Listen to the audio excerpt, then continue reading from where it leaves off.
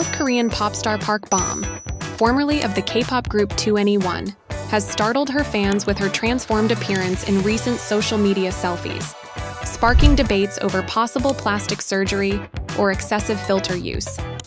The 39-year-old singer, who debuted with 2NE1 in 2009, looks significantly different compared to her past images, with notably larger eyes and a fuller pout.